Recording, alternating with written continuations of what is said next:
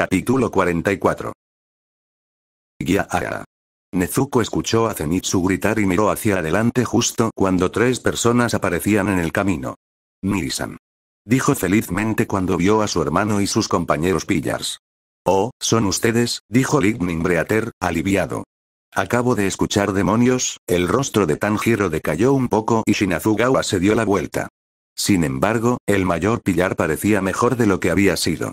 Desde el momento en que partieron, prácticamente había irradiado una especie de energía inquieta que había puesto nervioso a la mayor parte del grupo. Ahora, sin embargo, esa energía se había desvanecido, o al menos se había calmado significativamente. En cualquier caso, el demonio de pelo blanco parecía menos dispuesto a atacarlos en cualquier momento así que, aparentemente su caza había funcionado. Sin embargo, parecía más osco y, sinceramente, Nezuko no podía culparlo por eso. Ella realmente se compadeció de él. También sospechaba que él odiaría esa lástima, así que trató de no demostrarlo y se centró nuevamente en su hermano. Bienvenido de nuevo, dijo alegremente, luego se dio cuenta de que estaba siendo grosera. Aiguro-san y Shinazugawa-san también. Su siempre asombroso hermano simplemente le sonrió, tan dulce, cálido y genuino. Me alegro de estar de regreso, Nezuko. Antes de que pudiera decir algo, Inosuke se adelantó. ¿Cómo se atreven a buscar peleas sin mí? Tanjiro simplemente sonrió apaciguadoramente. Lo siento, Inosuke, pero fue una especie de búsqueda personal. Él carraspeó. Nezuko estaba un poco sorprendido de que pareciera entender eso y retrocedió. Quizás fue cosa de jabalíes. Bien. Pero me debes una pelea. Su hermano simplemente se rió. Está bien. Una vez que lleguemos a la casa de Urokodaki-sensei y salude a mi familia, hablaremos con Urokodaki-sensei sobre entrenamiento y sparring. Después de todo, este es un viaje de entrenamiento. Aún no contento, Inosuke estuvo de acuerdo con un gruñido osco. Entonces algo pareció ocurrirle y se animó. Después de eso, ya no hubo forma de detenerlo. Inosuke se adelantó gritando que tenían que darse prisa y llegar allí ya. Tanjiro solo suspiró y sacudió la cabeza con cariño. Nezuko podría identificarse. Supongo que eso significa que nos vamos, dijo su hermano mayor, con voz divertida. De lo contrario, se perderá. ¿Qué hará? Gritó Zenitsu, horrorizado. Inosuke tiene muy buen sentido de la orientación, Nisan, respondió Nezuko en defensa del agresivo chico, ignorando el arrebato de su otra amiga. Es cierto, pero ¿sabe siquiera dónde ir? Bueno, él la tenía allí. Además, es un buen entrenamiento. Pero, comenzó Zenitsu, por lo que Nezuko se giró hacia él. ¿Por favor para mí? Preguntó en voz baja. Ella sabía exactamente lo que estaba haciendo y se sentía un poco mal por ello, pero si funcionaba y lo empujaba a esforzarse un poco más, así que, solo por esta vez. Cualquier cosa por ti, Nezuko-chan. Él exclamó. Y así de rápido se fue. Ni Iguro-san ni Shinazugawa-san parecían felices, pero ninguno de ellos objetó cuando los demás comenzaron a usar sus estilos de respiración para perseguir al chico con cabeza de jabalí. Se las arreglaron para llegar a la casa de Urokodaki-sensei antes de que cayera la noche ese día y Nezuko se sorprendió al recordar el tiempo que pasó allí. La zona se sentía como en casa, tanto como siempre lo había sido su pequeña casa en la montaña. Le tranquilizó saber que su familia estaba aquí a salvo y que tenía un lugar al que regresar. Que sus hermanos menores vinieran corriendo a saludarlos no le dolió en lo más mínimo. En el momento en que los vieron, ella y Tanjiro corrieron hacia adelante para abrazar a Shigeru, Rokuta y, lo notó con sorpresa y satisfacción, Anako. El Rengoku mayor también debe estar de visita. Su madre los saludó con la misma alegría y más tarde, cuando Senjuro y Takeo regresaron del entrenamiento, recibieron a los recién llegados con el mismo entusiasmo. Por supuesto, fueron seguidos por el Rengoku mayor, quien miró a la familia con una sonrisa cálida, aunque algo triste, aunque esa tristeza se desvaneció cuando Anako habló de su entrenamiento con la respiración de llamas. Al parecer, una de sus tareas había sido mirar fijamente el fuego y encontrar diferentes formas de describir aspectos del mismo. Se había vuelto bastante poética cuando hablaba de llamas en general. Sin embargo, aparentemente no había comenzado a pasar por algunos de los aspectos más duros del entrenamiento debido a su edad. Ahora tenía nueve años y comenzaría parte de ese entrenamiento cuando cumpliera diez. Nezuko no pudo evitar sentirse aliviado de que su hermana no tuviera que pasar por algo tan duro como ella a una edad tan temprana. Takeo, por otro lado, aparentemente había llegado a un punto en el que podía ir a la selección final, tan pronto como supieran que ninguna luna creciente aparecería en dicha selección, por supuesto. Todo el cuerpo todavía desconfiaba de todo lo que había sucedido con ella, Tanjiro y Mitsuri. Aparentemente, Urokodaki no creía que Senjuro estuviera listo para la selección final todavía, y aunque mucho de eso tenía que ver con desaprender los malos hábitos que había adquirido sin la supervisión de su hermano o de su padre, y por lo tanto, completamente comprensible, Nezuko podía dile que el chico estaba desanimado. Sin embargo, parecía más decidido y estable de lo que había visto antes, y ya no tenía problemas para expresar sus opiniones, o al menos no tanto. Fue agradable verlo crecer y tomó nota mental para decirle cuánto había cambiado después. Shinazugawa ni siquiera se molestó en entrar, sino que saltó al techo de la casa y se quedó allí mientras las familias Kamado y Rengoku comían. Iguro entró, pero se sentó lejos de todos en el rincón más alejado, observando con cautela las cálidas interacciones. No parecía cómodo en grupos grandes, pero Nezuko también sentía una sensación de fascinación por él, como si no pudiera comprender la imagen que tenía ante él. Ella se propuso invitarlo, pero él se negó, luciendo medio anhelante y medio aterrorizado. Ella no volvió a ofrecerse esa noche. Más de una persona notó que Tanjiro no estaba comiendo, y una vez que Rokuta y Shigeru fueron acostados, se sentó frente a todos y les explicó todo. Cómo había terminado de transformarse en un demonio usando su poder para salvar a Shinazugawa de Waxing One, cómo había convertido a Shinazugawa en un demonio para salvar su vida, cómo ninguno de los dos podía comer comida humana, etc. Nezuko continuó desde allí, explicando lo que había sucedido con las dos lunas crecientes que las habían perseguido en su camino de regreso de la selección final y cómo ella muy probablemente era resistente a las células demoníacas y el cambio posterior ahora, no es que quisiera probarlo. Eso, pero era algo que ella sentía que su familia debería saber. Entonces Tanjiro explicó sobre Akaza, Akatsuji, y esa había sido una conversación incómoda, y cómo Iguro-san estaba acompañando a sus compañeros pilares porque dejar que dos demonios de esa fuerza se dispararan solos no era algo con lo que nadie se sintiera cómodo. Una vez que terminaron, el grupo reunido se sentó en silencio, pareciendo digerir eso. Poco después, todos se retiraron a sus camas, ante la insistencia de su madre, pero Nezuko estaba seguro de que ella no era la única que seguía despierta y pensando hasta altas horas de la noche. Al final se quedó dormida y esperaba que los demás miembros de la casa también lo hicieran. Al día siguiente comenzaron a entrenar. Tanjiro, que nunca había entrenado en el estilo llama, parecía particularmente emocionado de ver qué tipo de entrenamiento Rengoku señor. Decidió someterlo a él y a los otros cazadores. Una vez que terminó con Anako, dejándola blandir su espada mil veces, descubrió la zanja que había cavado y lleno de madera. Luego le prendió fuego y les dijo a los seis cazadores actuales, quizás con demasiada alegría, que le hicieran mil flexiones sobre las llamas. Inosuke aceptó esto con deleite. Zenitsu casi se desmaya. El resto asintió, decidido, y comenzó su tarea. Mientras lo hacían, Rengoku señor. Habló de la llama interior y de cómo uno tenía que concentrarse en ella para cualquier estilo de llama.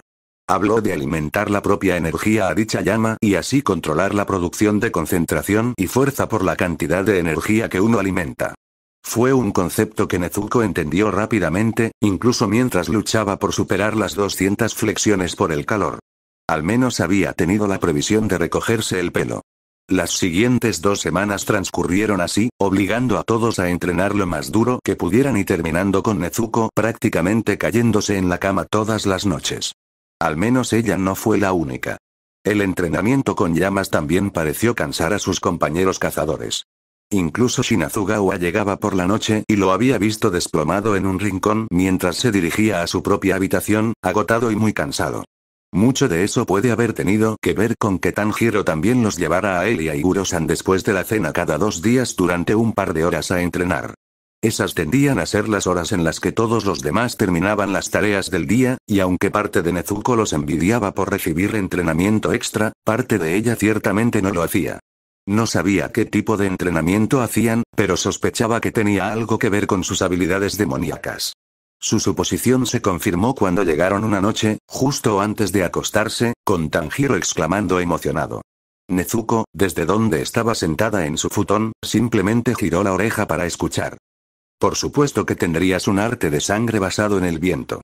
Tiene mucho sentido. Todos los demonios que he conocido que han sido cazadores de demonios han tenido un arte de sangre que complementa su estilo de respiración. Shinazugawa resopló, aunque sonaba más cansado y más optimista que antes.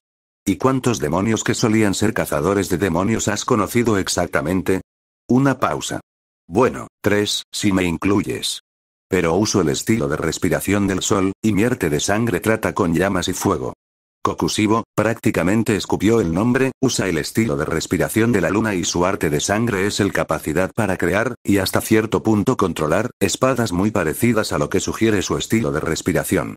El tercero, era alguien con quien me he cruzado varias veces, pero no siempre se convierte en un demonio, así que lo dejaré así. Pero sí. ¿Le ha advertido a Ubuyashiki-sama sobre el potencial desertor? Preguntó Iguro, con tono acusador. Oh, no, yo, no lo he hecho. Lo haré esta noche. Tanjiro respondió con el sonido de un puño golpeando la palma de su mano. En cualquier caso, me pregunto por qué, continuó segundos después, volviendo al tema anterior. Las transformaciones de los demonios y los estilos de respiración afectan la misma parte del alma humana. ¿Es por eso que los estilos de respiración son mucho más efectivos contra ellos? Un resoplido de Shinafugawa. Simplemente le da al humano la capacidad y la velocidad para seguir el ritmo de la mayoría de los demonios. Son las espadas las que hacen posible matar demonios. Tienes razón. Su hermano respondió casi de inmediato. Debería estar mirando las espadas y la luz del sol. Nezuko sonrió mientras terminaba de prepararse para la noche, permitiendo que los tres pilares caminaran afuera mientras se dirigían a su propia habitación, y continuaron hablando en voz baja, aunque con entusiasmo. Su hermano siempre tuvo una actitud muy positiva. Esperaba poder ser así de fuerte algún día. Anako no estaba muy segura de qué pensar. Sobre más o menos todo. Su vida había cambiado tan drásticamente desde, bueno, desde ese día. El día que su hermano mayor se despertó sin comportarse como él mismo en absoluto. Habían huido de, bueno, algo, Rengoku-san le explicó a Muzan más tarde y ella se horrorizó, y luego terminaron en casa de Urokodaki después de largos y duros días y noches en el camino. Y luego su hermano entrenó y se fue mientras Nezuko comenzaba a entrenar, y luego llegaron los Rengokus y ella se ofreció como voluntaria para entrenar con un estilo diferente, y eso había sido un ajuste. Rengoku-san aparentemente no había sido alguien que cocinara o limpiara desde hacía bastante tiempo y había admitido que nunca antes había tenido una hija, que no tenía ni idea de cómo cuidar a una niña. Ella se rió y le dijo que la tratara como a sus hijos, y que le diría si era necesario cambiar algo. Finalmente, contrató a algunos habitantes de una aldea local para que vinieran y ayudaran a mantener el complejo durante una semana al mes, ya que no quería presionar a Oyakata-sama solicitando Kakushi. Todos se sorprendieron y escandalizaron un poco cuando descubrieron que Rengoku-san le había estado enseñando a usar la espada, pero ninguno de ellos se había atrevido a hablar en contra del jefe de la propiedad. No eran parte del cuerpo por alguna razón. Y por eso había seguido entrenando. Les había tomado un tiempo encontrar un patrón que funcionara, pero finalmente lo lograron y ahora no podía evitar alegrarse de haber elegido aprender el estilo de llama en lugar del estilo de agua. Se sentía más fuerte que nunca y estaba muy orgullosa de su progreso, aun sabiendo que le quedaba un largo camino por recorrer. Pero ella también se había perdido muchas cosas. Como que su hermano se convirtiera en un pilar, un pilar. Y Nezuko fuera a la selección final, y luego Tanjiro lentamente se convirtiera en un demonio, pero pudiendo aún actuar como si fuera normal con sus recuerdos intactos y no comió humanos y aparentemente también podría convertir a otras personas en demonios, fue simplemente, tanto. Su familia le había escrito, por supuesto, pero no lo sabían todo, e incluso si lo supieran, fue diferente verlo.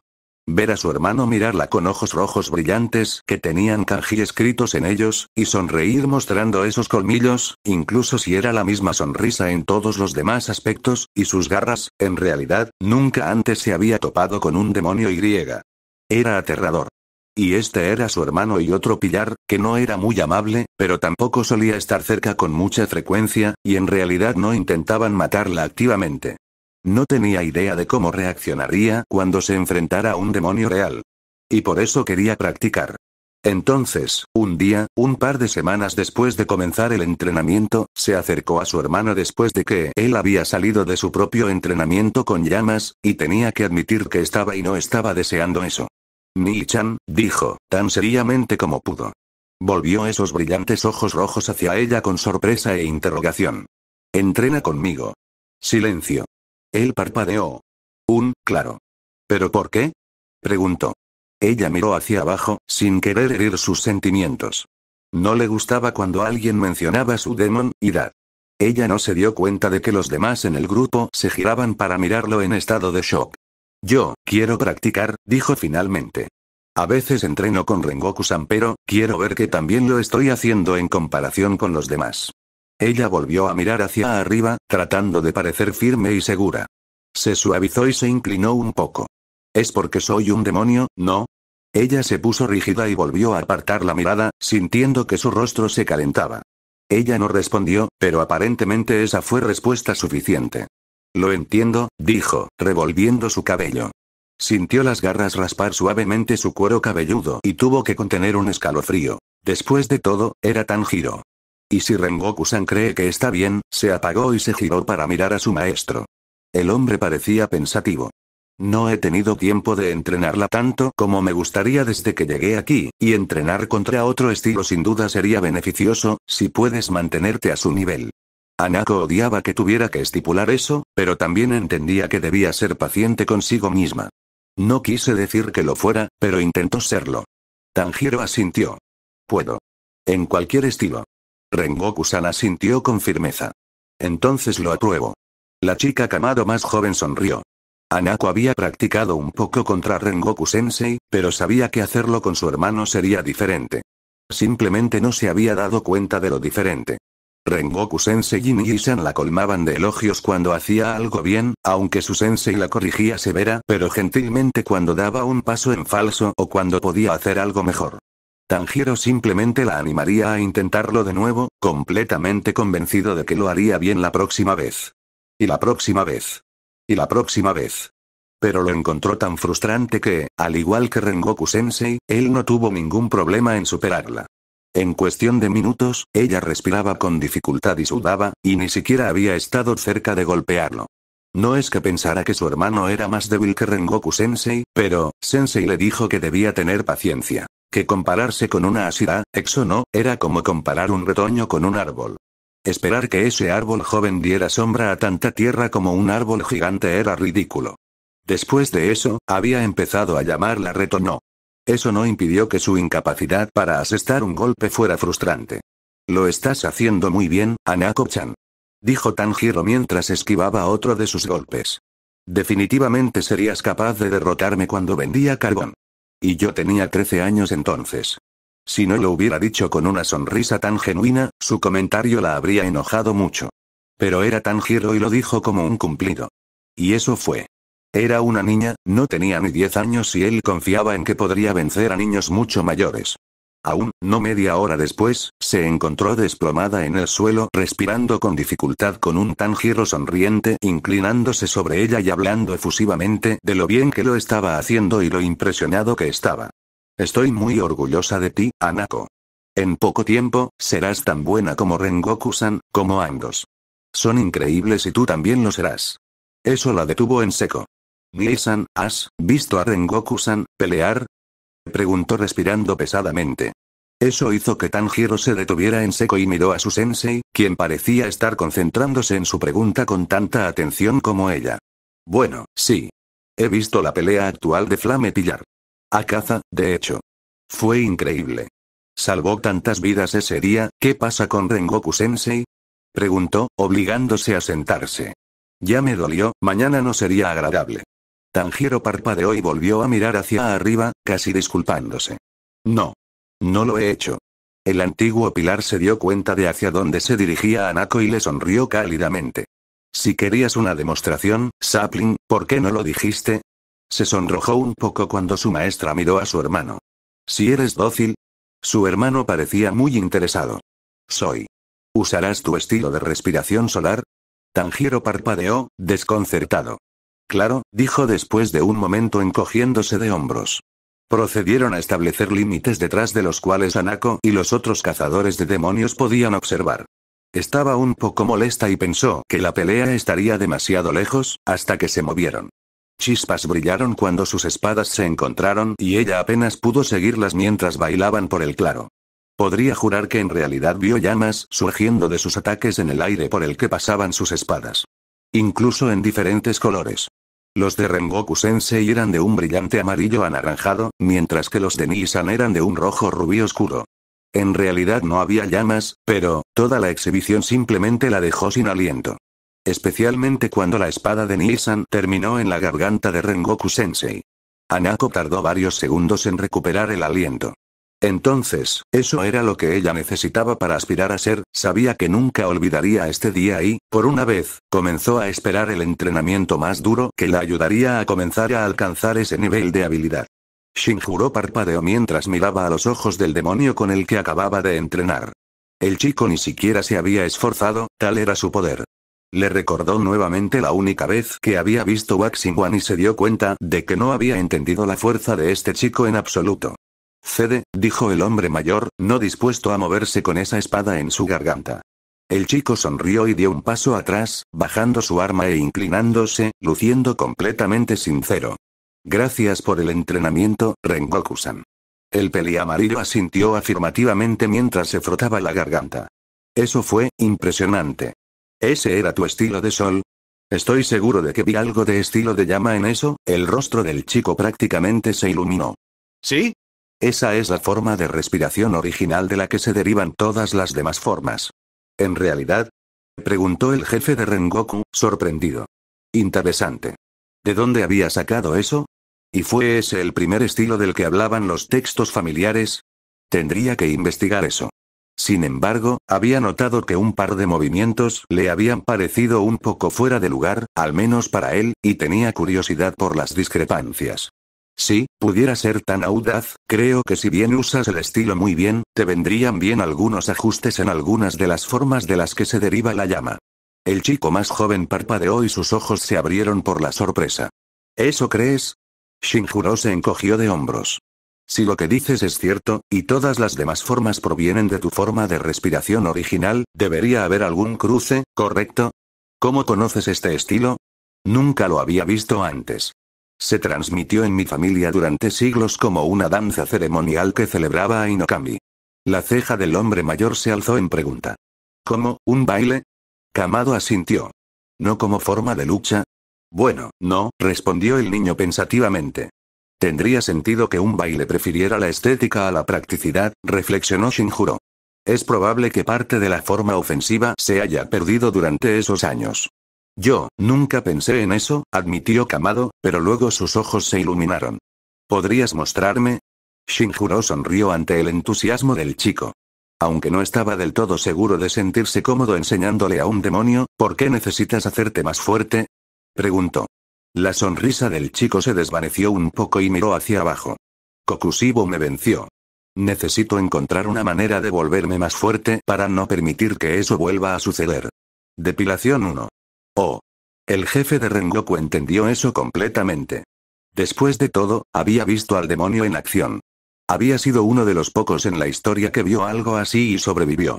Y. Sabiendo que había alguien de su lado que podía enfrentarse a ese monstruo. Muy bien. La primera discrepancia que noté.